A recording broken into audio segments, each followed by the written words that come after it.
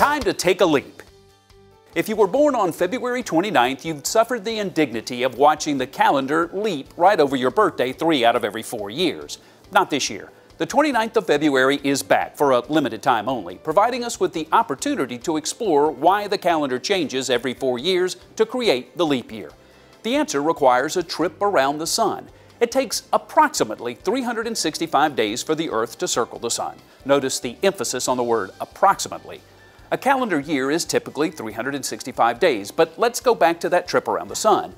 Hundreds of years ago, astronomers discovered that the journey actually takes closer to 365 days and 6 hours. 6 hours may not seem like a lot, but if the calendar is off that much each year in 4 years, that's a full day. So around 45 BC, the Romans added a day once every 4 years, creating the leap year. However, it turns out they overcompensated just a tad. Adding a day every four years is about 11 minutes too much. So now we skip the leap year three times out of every 400 years. If not for all of these adjustments, our calendar would slowly shift away from the seasons as we know them. Eventually, we would be wearing heavy jackets in August.